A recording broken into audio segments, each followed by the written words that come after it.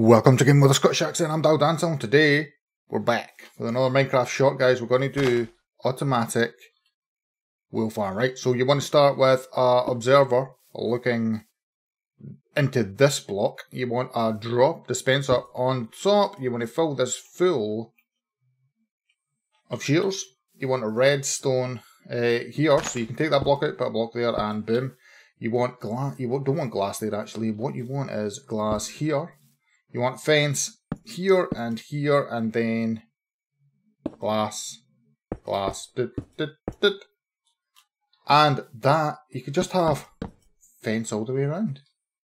Put the sheep in, shear the sheep, and when it eats the grass, it'll be automatically sheared again, like so. Hope you enjoyed it, guys.